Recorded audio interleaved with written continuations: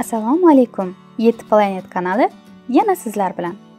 Butun dunyo bo'ylab sayohat qilish albatta juda hayajonli va yoqimli.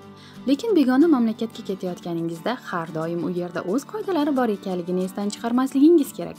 Chunki oqibati sayyohlarning jarimaga tortilishiga olib keladi. Ehtimol yanada jiddiyroq jazo bo'lishi ham mumkin.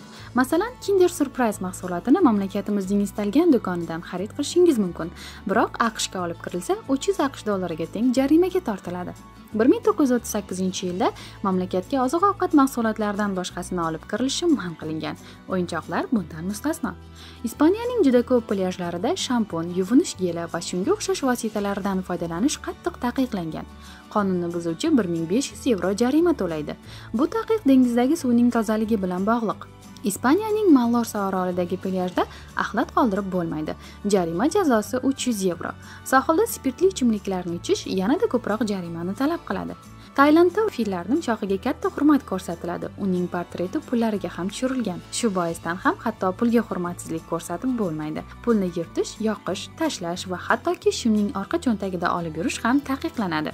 Bundan tashqari italiya shahrida fillarni boqish man etilgan. Jarimasi esa taxminan 300 dollar. Afina shahrining akropoli har yili millionlab sayyohlar tomonidan ziyorat qilinadi.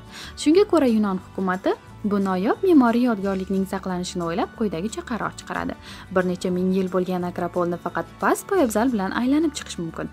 Poshnali oyoq kiyimga ruxsat etilmaydi.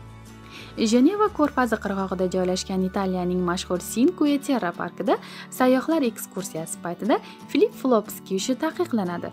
Sirpanchiq yerlarda aynan shular tufayli ham shikastlanish kelib chiqadi. Shuning uchun ham hatto politsiyaga sayohatchilarning poyabzallarini tekshirish topshiriladi. Aqshlik sayyohlardan biri singapurda yo'l chetiga tupurdi uni zudlik bilan politsiyachi to'xtatib 300 dollar jarima soldi. Bundan tashqari uni ikki kun ichida to'lash kerak edi. Aks holda jarima miqdori sezilarli darajada oshardi 2000 dollargacha. Aslini olganda jamoat transportida pul to'lamasdan sayohat qilish jiddiy qonunbuzarlik emas.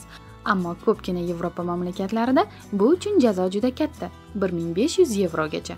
Bundan ham yomoni keyingi safar ushbu mamlakatga kirish uchun viza olish bilan jiddiy muammolar paydo bo'lishi mumkin. Atrof juda issiq bo'lgan taqdirda ham favvorada cho'milish mumkin emas. Masalan rimda militsiya xodimlari yiliga 900 yevrogacha bo'lgan miqdorda jarimalar yig'ib olishadi. Bir qancha italyan plyajlarida nafaqat chig'anoqlar balki qumlarni ham olish taqiqlangan.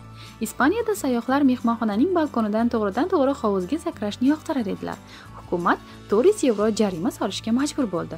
2008 yil 1 maydan venedikda markaziy piazza san marko kabutarlarini boqish taqiqlangan. Shahar ma'muriyatining fikriga ko'ra ushbu yerda och kabutarlar juda ko'p va ularni boqish orqali shahar va yo'laklar ifloslanmoqda. Ushbu taqiqdan qushlar uchun ozuqani sotuvchilar eng ko'p azob chekdilar hatto sudga ariza ham berdilar biroq bu ishda yutqazganlar. Azizlar video yoqqan bo'lsa layk bosishni unutmang. Albatta kanalimizga obuna bo'ling va eng qiziqarli videolarni bizda tomosha qilib boring. غایبانه دیدار قدر آمان بولیم.